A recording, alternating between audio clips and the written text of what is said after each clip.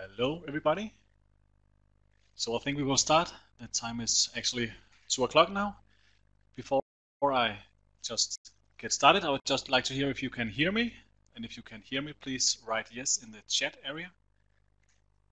That's perfect. I think there's at least some of you that can hear me. Okay, but uh, yes, welcome to this webinar about diffuse ceiling supply. Uh, my name is Yannick Roth and I work for from WindowMaster. And here with me with today is uh, Professor Per Heiselberg from Aalborg University, who will give you a lecture in diffuse ceiling and also their findings. Uh, but before we start, I have some practical information. So sound okay? I think you all of you have voted yes, so that's good.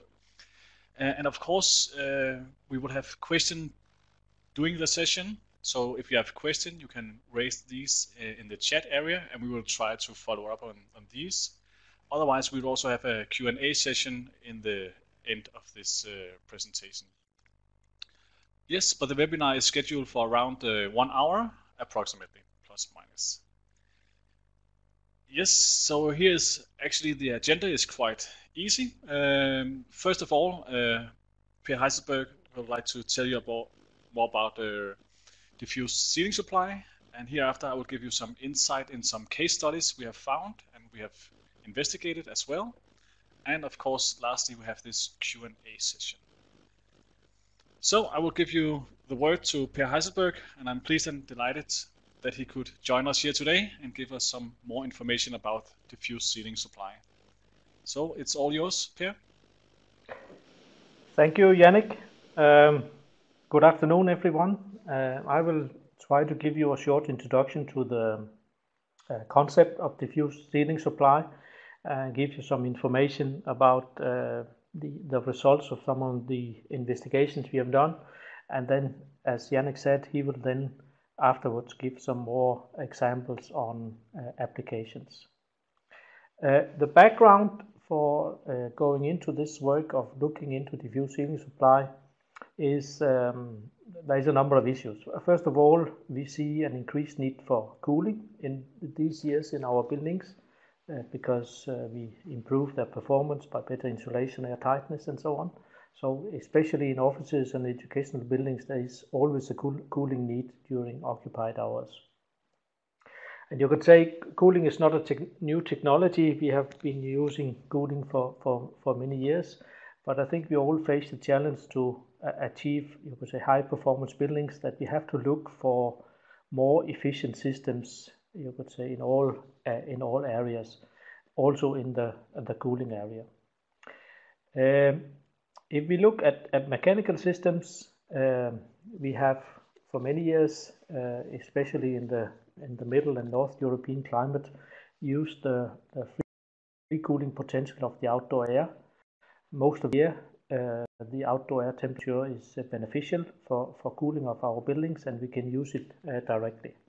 However, uh, if we look at, at mechanical systems, um, usually uh, we have we have a limitations on how low temperatures we can uh, supply to the spaces.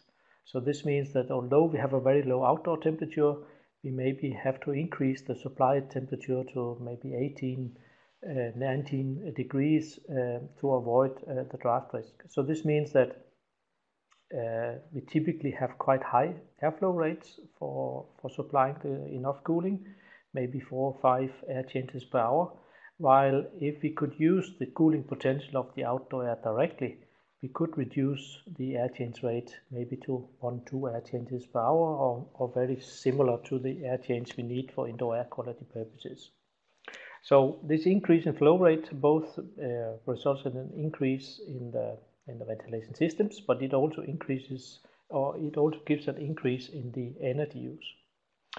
If we look at natural ventilation, uh, this is often not used in the cold season because it's difficult to supply to the space without uh, creating draft from, from very cold outdoor air. So this is often another used for cooling purposes in the in the winter or the cold uh, season. Uh, and we have looked into diffuse su uh, supply because um, by, by this technology we can provide very low temperature supply air without uh, creating draft in the space. So we can save a lot of electric, uh, electric energy for transportation of air in mechanical systems and we can make it possible to use natural ventilation even in the cold uh, season. So this was a little bit about the background. I will now show you some results uh, from uh, an international project that we have been uh, involved in just to illustrate the, the challenges with, you could say, um, having the cooling with the outdoor air in mechanical systems. And, and the results I will show you is, is based on some predictions on a, um, on a, a, a, typical meeting room on, a, on a test case in, uh, in Switzerland. Uh, th this figure shows um, you could say five different cases. One is a, a reference case for this building or for this space. Uh, what is the, the cooling need uh, or the electricity consumption to provide the, the, the cooling need to the, to the space. And then there are four different uh, other options. One where natural ventilation is uh, used during the occupied uh, period uh, one where natural ventilation is utilized 24 hours uh, if, if necessary. And then there are two options with mechanical ventilation. One where uh, the mechanical ventilation is used not only during occupied hours, but actually also six, six hours uh, during the night. And the last option is where we have mechanical ventilation uh, whenever the uh, outdoor temperature is more than 4 degrees uh, below the indoor temperature. And um, uh, the, the, the results on the figure shows you could say how much the the cooling need is reduced by applying these strategies and and you can see that for natural ventilation uh, it seems that the ventilation cooling benefit is larger and this is of course because we have the possibility to provide larger flow rates, while in the mechanical situation we are limited to the to the capacity of the of the system. But which is maybe more even more problematic is that that you could see the the red bars is the electricity consumption for transportation of air. So this means that even though we we, we can reduce the cooling need a lot of this savings uh, is actually used by used for electricity for the fans. So this means that we have to be very careful when we use uh, outdoor air for free cooling in mechanical systems that we don't um, lose the benefit by having a too high electricity consumption for fans. The next figure shows, uh, ah, this is actually the same. I'm sorry, I should not have taken this figure. This was the figure I would like to show because if, if we look at, uh, at what is important for using uh, mechanical ventilation uh, for, for, for cooling is of course what is the electricity consumption of the, of the fan. So uh, you could say the, the lower the outdoor temperature, uh, the the better the cooling system SER is the is the seasonal energy efficiency rate. So so the the higher the uh, or the lower the outdoor temperature are, the, the the more efficient is the cooling system. And then on the on the vertical axis we have the specific uh, fan power input for for for the ventilation system. And then here is, is an example which is made for Boston in the US, uh, showing where is the limit uh, between you could say the, the efficiency of the cooling system and the specific fan power we use. Uh, if we are below the limit, uh, it's uh, favorable to use mechanical ventilation and the free cooling of outdoor air, and if we are above, our electricity consumption is too high. And, and two examples are shown in the tables uh, beside, uh, one with an SPI or uh, in, specific power input for the fan on 0.4 watts per cubic per cubic meter hour, and the lower one is at 1.5 watt per cubic meter hour. And what you can see is that if the fan, if the input for the fan is too high, we actually do not get an advantage of, uh, of utilizing the cold air. We, our consumption in the end uh, turns out to be higher. So this means that we have to be very careful. And if we can use the, the uh, you could say the direct, uh, uh, the air even at low temperatures uh, for we can reduce the flow rates and thereby we can of course reduce the, the red bars uh, which is the electricity consumption for the fans. Uh, now I would like to say something about uh, the principles about diffuse ceiling um, uh, ventilation. Um, the, the idea is that we use the suspended ceiling as the uh, air terminal for, for supplying the air. Uh, so we create a plenum above the suspended ceiling where we supply the air and it's then transported from the plenum to the to the space. We can have uh, different types of suspended ceiling.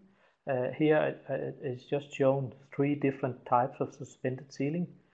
Um, where, where, the first one is is a, a, ceiling where the where the plates in the suspended ceiling are, are permeable to, to the air. So we have an air supply both through the uh, ceiling plates as well as through the uh, mounting system in the ceiling. Uh, the, the middle solution there we have plates which are not penetrable to, to air. So there the air sup is supplied to the space only in through the gaps, air gaps in the in the mounting system. And the last uh, uh example is a is a diffuse ceiling where uh, you could say the whole ceiling is diffuse and we don't have any um, you could say visible mounting on the on the diffuse uh, ceiling uh, panels. Um, this figure shows, you could say, one of the advantages of using uh, diffuse ceiling panels is that we have a, typically a very low pressure loss in this uh, air supply.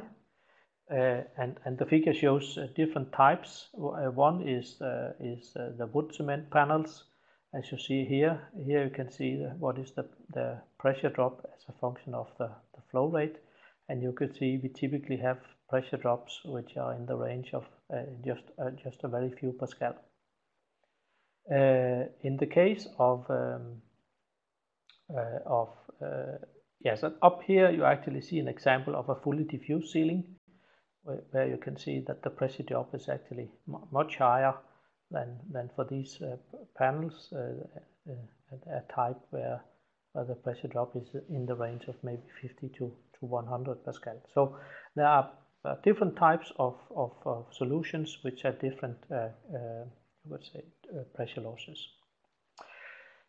Uh, I will now, the, uh, you could say the starting point for our work in this area is that we for many years have compared the performance of different air distribution systems to provide fresh air and cooling to, to spaces. And um, this we have done in order to compare the performance of these different systems. And, and this figure here shows uh, for different types of air supply to a space, um, uh, you could say the at the at the lower axis we have the airflow rate supplied to the space, and and uh, at the vertical axis we have the temperature difference between the supply air and the room air. And, and then we have different curves showing where, where we have comfortable areas and where we have, you could say, either too high flow rate or too high temperature difference, and we will create discomfort in the room.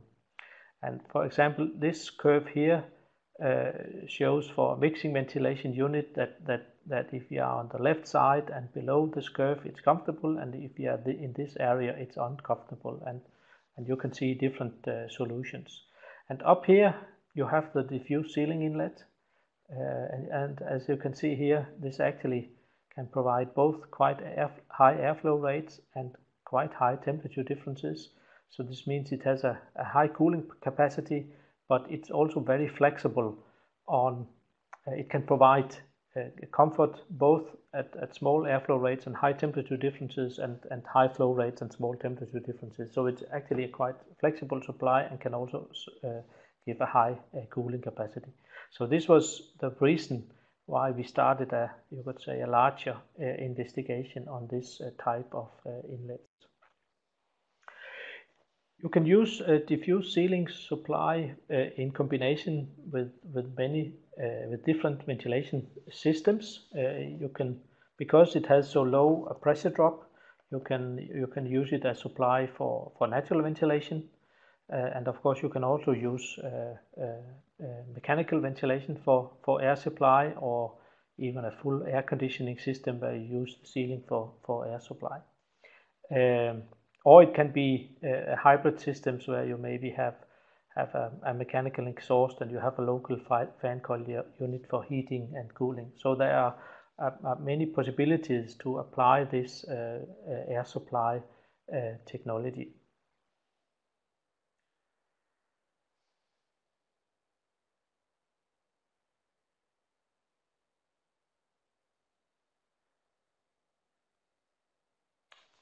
All the results of the activities during the last years have been summarized in a, in a design guide for, for diffuse ceiling ventilation and you can uh, you can uh, get this um, design guide on this um, uh, on this uh, website. Uh, and I'll now uh, show you some of the results from from the lab which which has um, you could say, given the, the information that is provided in the guide, and, and Yannick will later talk about the, the, the case studies. Uh, mo most of this work has been carried out in a, in a, in a, in a test space which has the same size and, as an, an office room and where has been mounted a diffuse ceiling and then been simulated an, an office uh, environment. And of course, there has been a lot of uh, um, um, measurement uh, points in the uh, in, in, in the room to to check the, the comfort conditions. And then there has been uh, carried out a, a, number of design cases. Uh, first of all, with, with different uh, internal uh, heat loads, different airflow rates, and, and different, you could say, outdoor temperature conditions. So to simulate both very severe winter, but also very warm uh, periods.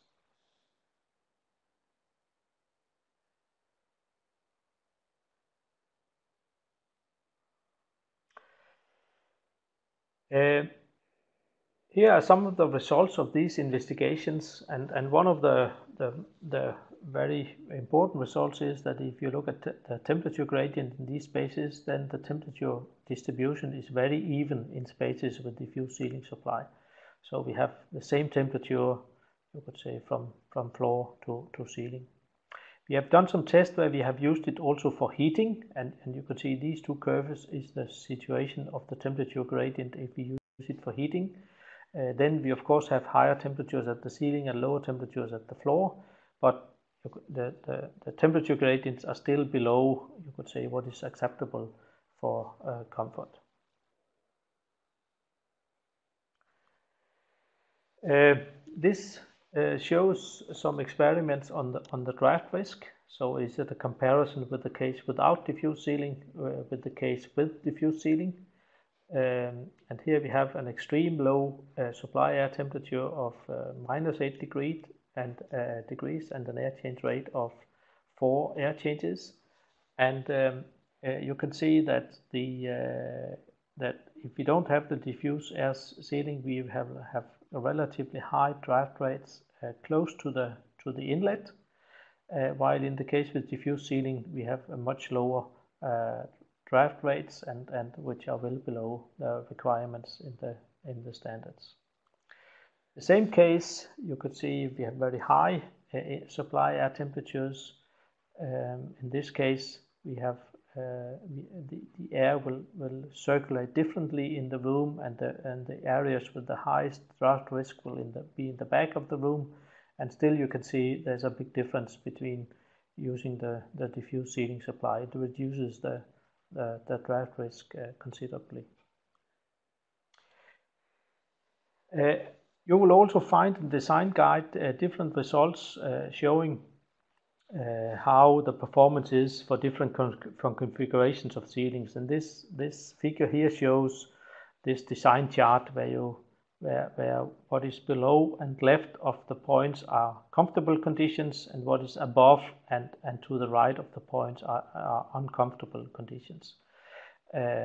And you can see the flow rate uh, as, as a function of the temperature difference of the inlet air. And uh, you can see here three different configurations. One where we have a supply of air through the whole ceiling, through 50% of the ceiling is, is penetrable to, to ventilation air, and the lower one it's only 18% of the ceiling where we have supply of air. However, if you if you look at the at the results, uh, uh, it seems that that the capacity of the system is not that uh, you could say sensitive to um, the the configuration of the ceiling, and if you use the whole ceiling or only part of the ceiling for uh, for for air supply, um, and you you can see that we can actually, depending on the airflow rate, we can we can supply air temperature uh, with a difference of up to 25 degrees without creating uh, discomfort uh, in the in the space.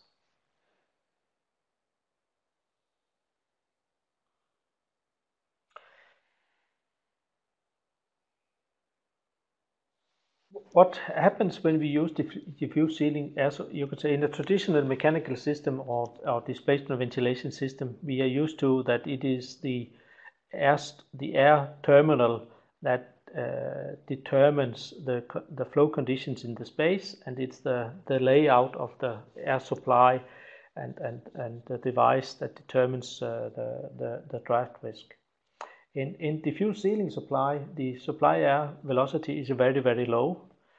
And this means that it's actually not the ventilation system that determines the air distribution in the space and the velocity level, but it's more the heat sources that we have in the space that determines the, the velocity level. So therefore, the flow conditions, and, and the figure here shows um, uh, uh, some predictions uh, by computational fluid dynamics on how the, the velocity uh, distribution and the velocity level will change depending on the location of, of uh, heat sources. Uh, and you can see it's it's very much affected of the uh, of the uh, of the location of the heat sources, how the circulation of air is in the space, and what is the velocity levels in different areas. however, if you if you look at the you could say the draft rate, you, can see here is the draft rate shown as a function of distance from the inlet. So this is along the length of the space. And of course, depending on where the uh, heat sources are located, the draft rate will be higher in some areas. For example, if if, if the heat sources are located in the front side of the room, the draft rate will be highest in the back side and the opposite. So you could say the draft rate will be highest where the heat sources are not located. Uh, but anyway, let's say all these values are, are reasonable, uh, are, are, you could say acceptable although they, they change. Uh, as it is the, the convective flows from the heat sources that determines the, the, the velocity uh, levels and the air distribution, actually the height of the room has, has an important uh as, or important uh, influence on the conditions because the, the, the higher the room height we have, the more uh, power the, the convective heat uh, uh, above the heat sources can, can get. So this means that the velocity level increases with uh, room height.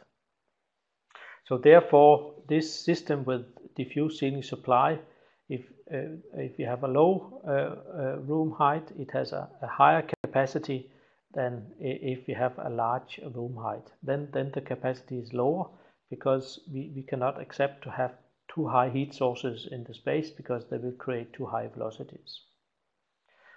And this is also illustrated here with how the draft risk or draft rate actually increases with room height, although uh, we have the same, in this case, the same level of heat sources in the, in the space. So for, for the conclusion on this, uh, and, and this is not just conclusions based on this presentation, but this is actually the conclusions uh, made in the, in the design guide, uh, that uh, the fuse ceiling supply can, can provide a, low draft risk in the occupied zone, even if we supply air at very low air temperatures. Uh, air distribution and draft risk is not dependent on the you could say so much on the way we supply the air to the space, but it, it's more uh, depending on uh, on the location of the heat loads, uh, the height of the um, and the and the height of the uh, uh, ceiling. Uh, we have very low temperature gradients in rooms with diffuse ceiling supply. Uh, and and it, it's also that in, especially in the case where you use uh, diffuse ceilings which have a certain insulation level we, um, we we do not have any radiant temperature symmetry challenges we have a very low pressure drop in almost all, always below at least 5 Pascal. Uh, something that I have not spent so much time on discussing is what should be the requirements for the design of the of the plenum. Um, there is more about this in the in the design guide, but uh, usually we say that if you have a low uh, plenum height which is minimum 20 centimeters, then this is enough to ensure uh, even air distribution at at normal uh, room sizes. So actually, it, it can work at, at quite low uh, plenum heights. Uh, yes, just uh, by the end, um, the, the link to the website where you can download the design guide for diffuse ceiling uh, ventilation. Uh, I can see that you have had a number of questions and I've not been able to, mm, you could say, manage to, to answer them in the same time, but I, I guess we will do the presentation. Thank you.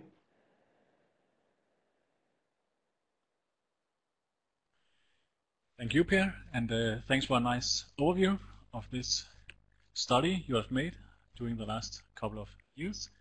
And uh, I can see that many of you write questions as well.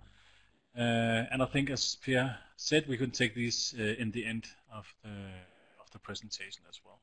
So I will just continue uh, with the case studies that we have been investigated as well, and just some of them which can perhaps be some inspiration to you all.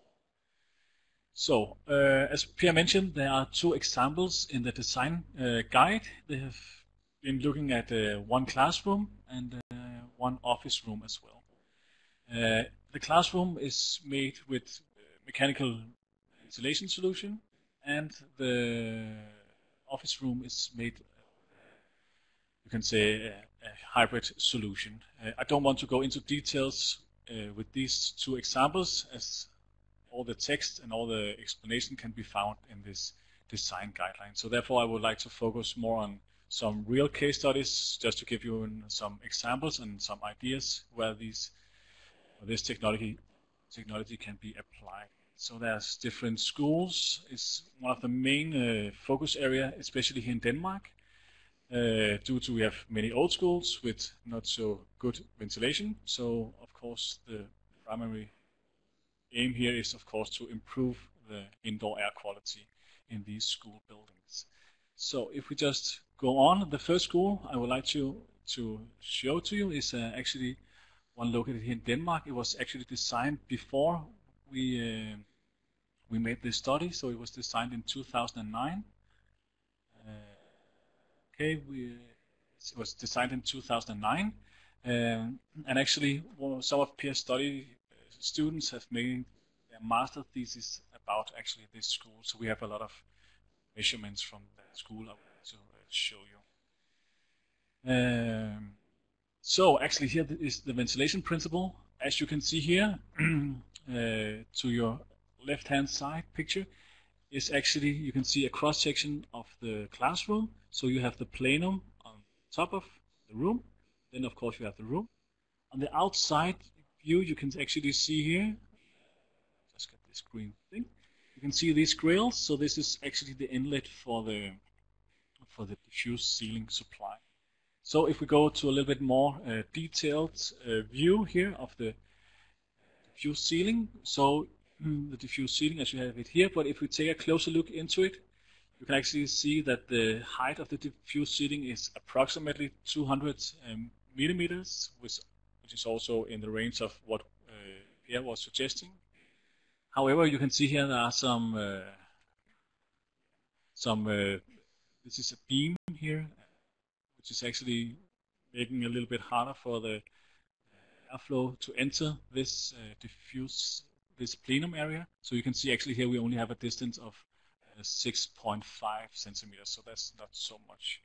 So here, in here you can see here the external grills, and here actually we also have a, a damper which can be controlled. Actually, okay. So if we go to the next slide here, so here we have a configuration of the diffuse ceiling.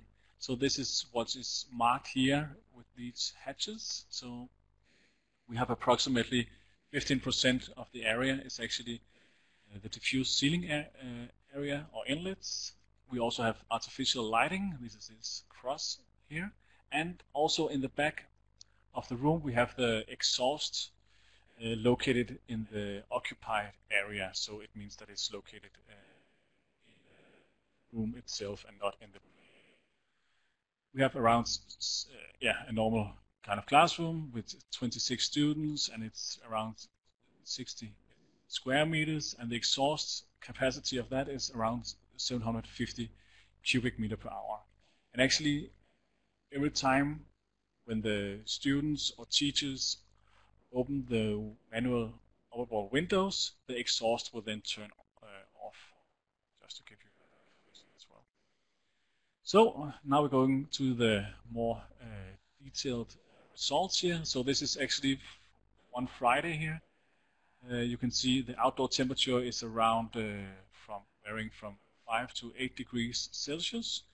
So what is illustrated here is actually the blue curve here shows the uh, inlet of the facade and the temperature here we have. The orange curve here shows the exhaust temperatures and actually all the other lines here are measurements done in the room at different heights. Uh, so you can see here it's quite stable throughout this day, throughout the period, uh, with diffuse ceiling supply. The gray area here shows when the occupier or when the people open and close the manual upper windows meaning that the diffuse ceiling supply is actually not functioning or they have been chosen to shut down the exhaust uh, throughout this period of time.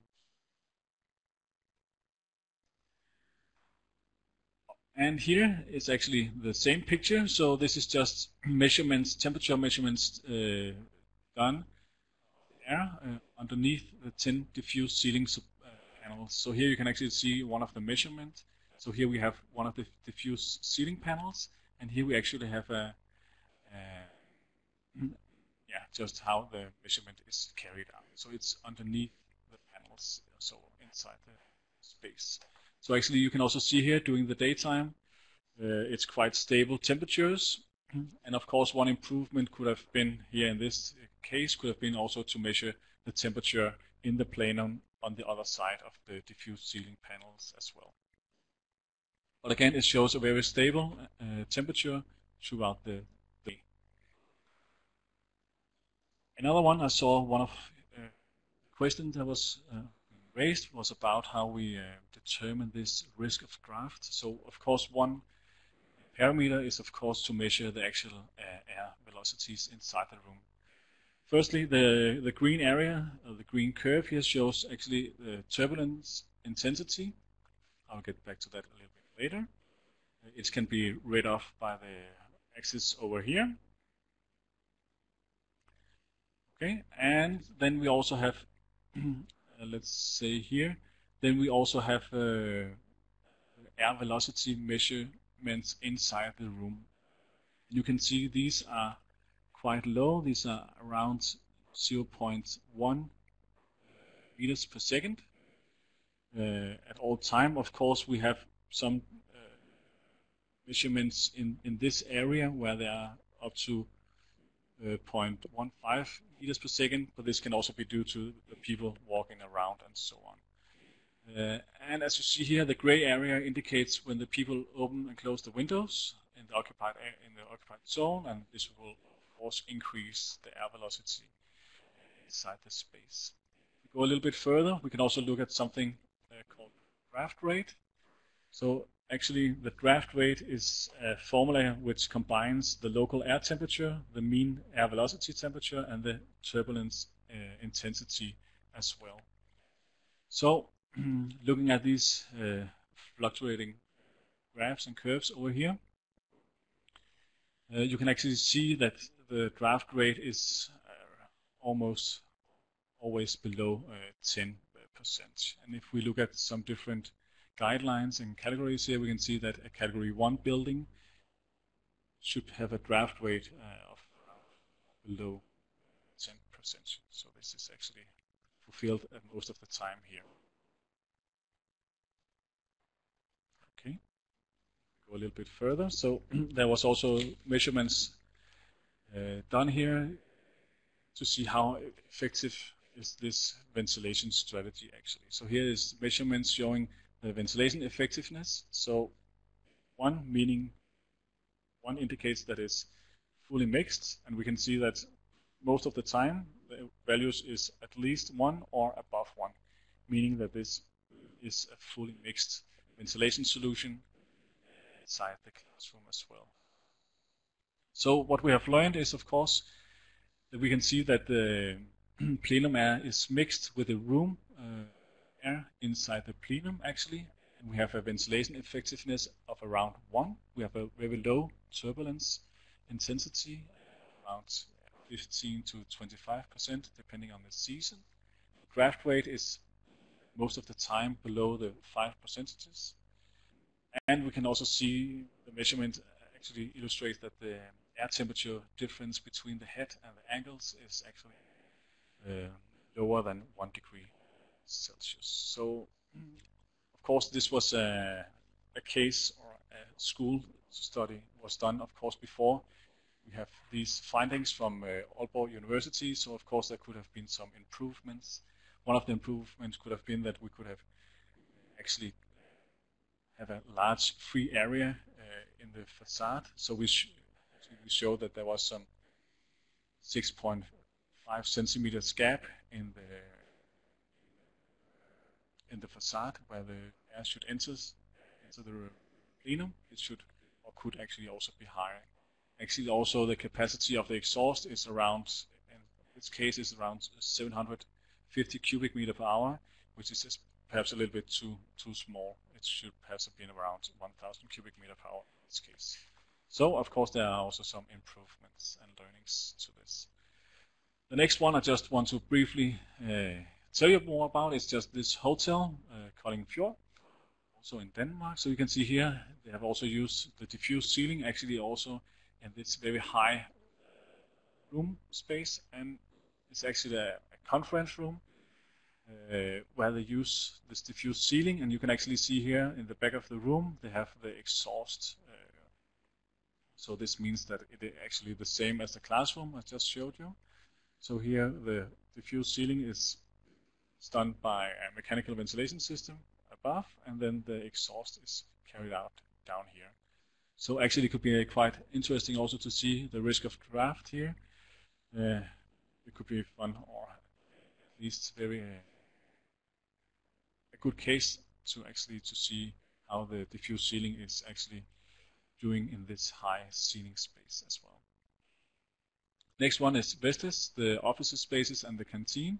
Again here on your left hand side is showed uh, the office spaces is quite traditional.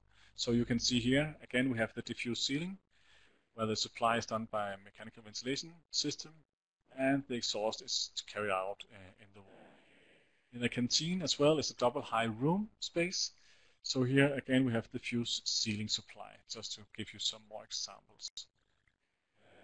Have one more here, so this is actually a historical building. So this is from the outside, so it's Moesgaard Museum uh, University. So actually the museum is, you can see that in the background here. And these are some very old buildings. So actually, the one of the challenges here was uh, the technical installations because there are some, you say, limits you have in these buildings. You cannot just tear down a wall or uh, do something in the roof. You have to be very careful do these kind of installations. So that was one of the reasons why they actually also chose this diffuse ceiling supply for their both the students' room and workspaces and other areas here, as you can see. And the principle is actually just the same. We have these very uh, Troldtekt uh, plates here, actually, which has a low uh, pressure drop across these plates around 2 Pascal. So it's quite nice. The final one I want to show you is uh, one school again where I've been done a, quite a lot of measurements and it's always quite interesting to see the measurements. So this was actually uh, Vallensbæk Skole is it called. So it's two classroom uh, that actually was selected to have this uh, diffuse ceiling uh, supply and then they want to show to the rest of the, to the rest of the school how these two classroom actually managed um, throughout the test period. Uh, and actually, there's a paper of this done by the Technical University of Denmark, which has performed these uh, analyses. So there should be a paper available from the AIVC conference from 2012 More interest uh, to read about this. So just very briefly about the installation. So sorry this is in Danish, but I think it's just a sketch, just to illustrate a principle. So here we have actually, uh, yeah, you can see over here, there was a mechanical ventilation unit installed in the roof, which is shown here. One of them, the inlet is going to the plenum, the exhaust uh, is actually going to the into the space itself, as shown here. Yeah, on the other side you can see how the, the installation is actually done. So here we have the inlet and the roof and then the plates active and active plates here is actually uh, mounted screw mount to the ceiling. So as I showed you before, we have actually the plenum here, and then mm, on this uh, axis or this uh, this location, we have, as you can see here, exhaust. So again, the pressure drop is across the ceiling is around 2 Pascal. The plenum height uh, is actually 20 centimeters, which is actually the minimum plenum height, uh, as uh, Pierre also explained. And then we have a 10% ceiling perforation, meaning that we have active boards, and that's what I want to show you here. Active boards is actually those in greens. So actually there was a, yeah, a little challenge here for some of the guys who screw this this, yeah, you can say screw this uh, ceiling up. You were not aware of that there was some of the boards which was actually active and some of them which was not active. So actually the design guide was to have these green boards as active plates and all of the rest of them which was not should not have been active. But actually uh, when they have screwed this uh, board off, it actually showed that the um, that, yeah they installed active boards here marked in red, so it was not 100% ideal. But again, the, the test went went on. So uh, yeah, there was some different tests. Uh, sorry, it's perhaps a little bit uh, difficult to read, but I will just mention them. There was four tests here. So test scenario one and two was done with a 500 cubic meter per hour uh, as inlet and uh, with a supply temperature of 10 and 17 degrees Celsius. Scenario 3 and 4 was actually carried out with a higher supply flow rate of 1000 cubic meter per hour, again with the same supply temperature of uh, 10 and 17 degrees. And here is just uh, where the measurement has been carried out. So measurement 1 is here, 2, 3, and 4, and 5, and so on. It's carried out these particular spaces in the classrooms. And that's what I want to show you here. So this is actually measurements done with a supply uh, air temperature of 10 degrees. And down here, you can see the different measurement point uh, from 1 to 8, different stations. Uh, and up here on the horizontal axis, we have the mean air velocity. So the threshold value should be around the uh, 0.15 meters per second. And we can actually see that most of the areas fulfill this uh, requirements is actually smaller. It's actually around 0.1 or smaller. But we can see that this measurement 0.3, there is some very, very high, higher mean air velocities, and also at this uh, 0.7. So actually, it's, it was shown later on that at this 0.3 there was it was located very close to a leaky hatch, so that was why there was some problems in this area. And also uh, this uh, 0.7 was actually located in the close in the corner where there was some active panels, one in the corner and one that was just located very close to it. So this was also why there was it was actually over here. So this was actually why there was some higher air velocities in this area. And for the, the point point here, the point three, uh, I can take this question. Uh, yeah, it's uh, actually mean air velocity is think it's weighted uh, three minutes intervals over time. So again here is just the supply air temperature. The results for the 17 degrees is actually shown precisely the same as for the supply air temperature of 10 degrees. Just go a little bit further here we can see some uh, thermovision photos. So actually here we can see the active boards. Uh, here you can see it's a little bit darker. So the active panels boards are also here. And actually here you can see the leaky hatch which is actually located here. And that was where we have this three that was located just below that, and that was the explanation why we got some high velocity uh, measurements in this area.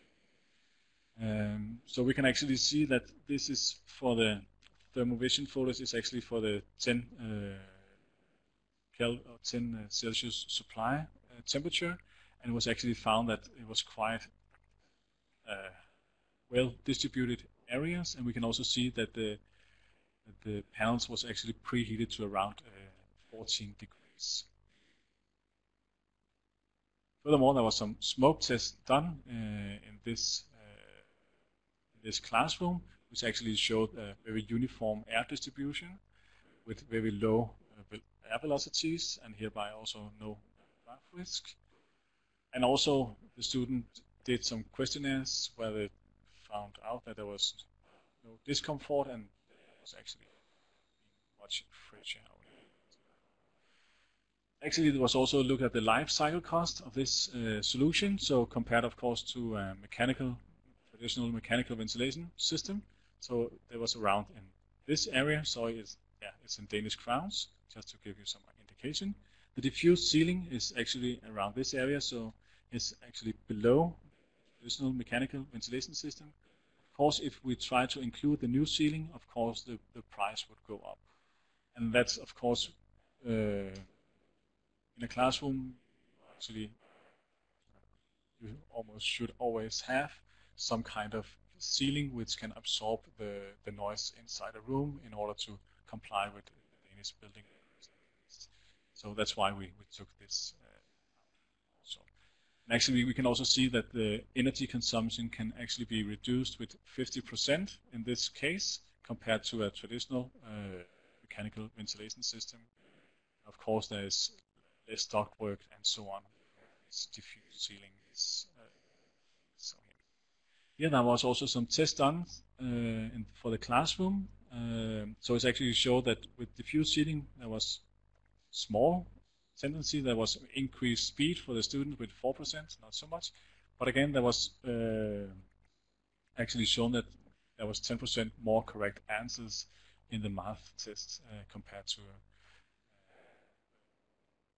compared to a classroom without diffuse ceiling also with for the Danish uh, language test that was done, there was actually 15% fewer uh, mistakes by the students with the classroom with diffuse ceiling. So again, very nice results as well. So again, what have we learned from this case study? We have learned that actually the main findings there was no uh, risk of draft, uh, both in case of the high and low airflow rates. There was a uniform air uh, distribution, temperature distribution throughout the room, and it was actually almost perfectly mixed uh, throughout the space as well.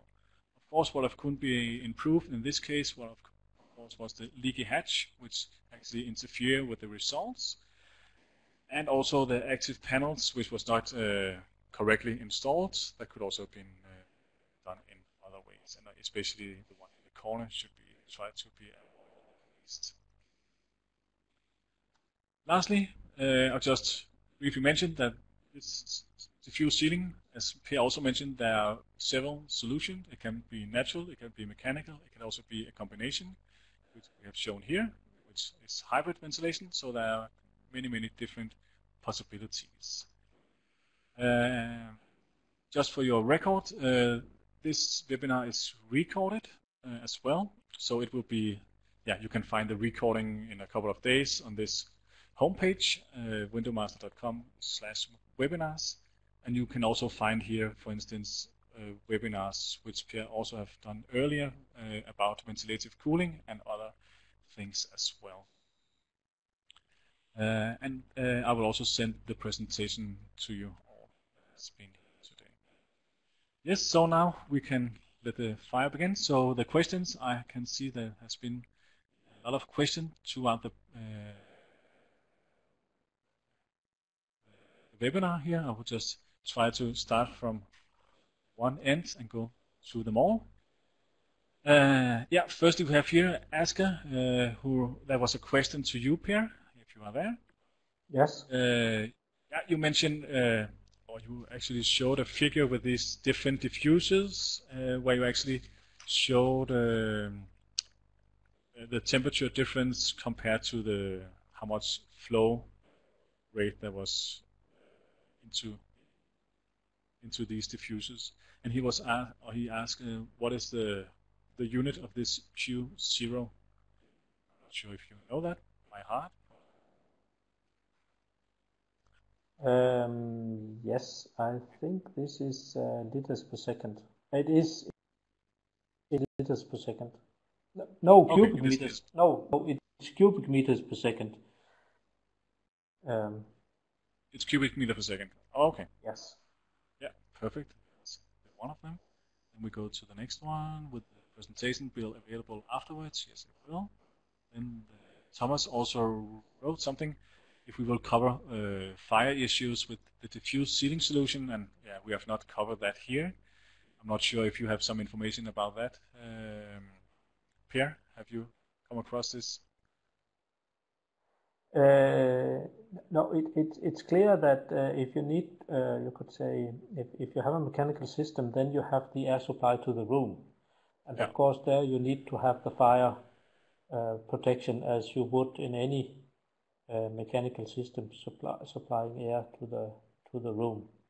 So I don't think uh, diffuse ceiling is not any different from another air supply, except that instead of having uh, pipes and, and devices in the space, you, you provide the air directly to the plenum and then have the supply to the space.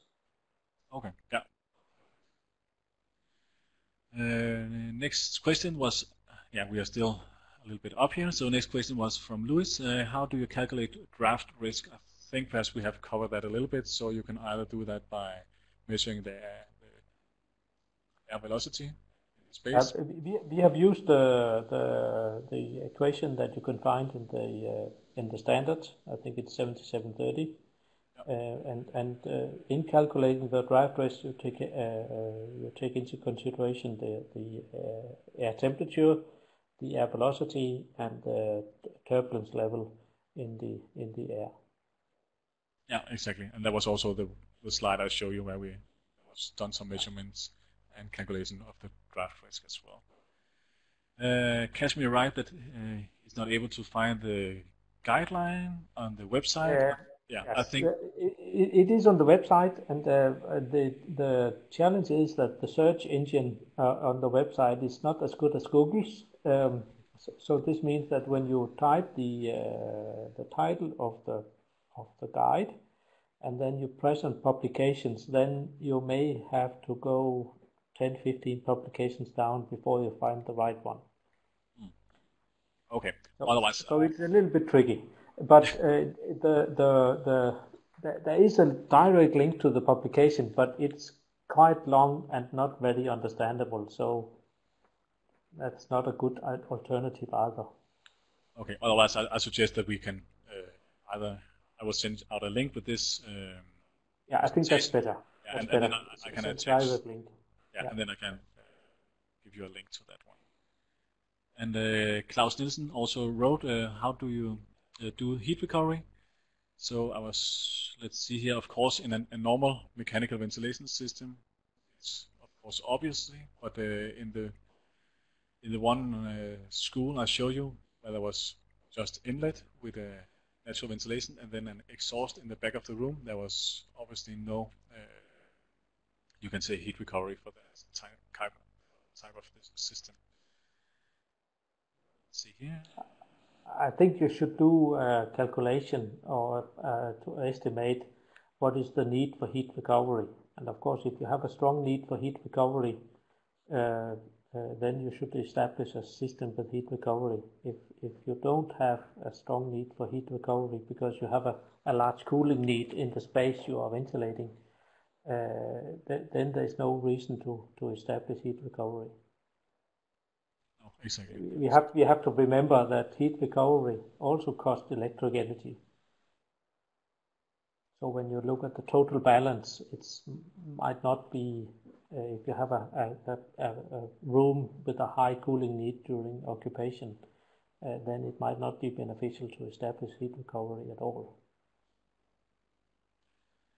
Exactly. Okay, so Christian here uh, has a question as well. Which pressure should be supplied on the plenum side uh, on the diffuse ceiling? We have some. Well, it, it depends on what pressure you want in the room. Uh, the, the, of course, the pressure in the plenum should be, uh, you could say, a few pascal higher than the pressure in the room. So, it, so the pressure in the plenum depends on what pressure you want in the room. Perhaps also what kind of diffuser plates yeah. you're using and so on. Yeah. Yeah, then we have uh, Lewis. He writes here, should the plenum, or does the plenum ceiling need to be cleaned regularly as the incoming air is traveling through it?